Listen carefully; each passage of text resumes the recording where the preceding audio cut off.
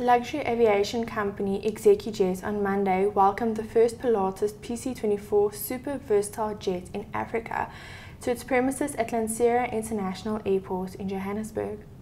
With the aircraft to be based at the Cape Town International Airport, ExecuJet will be responsible for its day-to-day -day management and operations on behalf of the aircraft owner.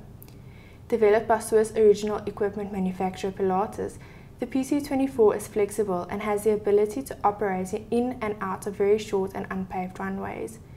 The PC-24 will also be available for charter and offers clients the latest in in-flight entertainment and connectivity. ExecuJet meanwhile looks forward to officially welcoming the aircraft to its fleet a little later this month. For Creamer Media in Johannesburg, I'm Simone Liedtke coming to you live from Lanseria International Airport.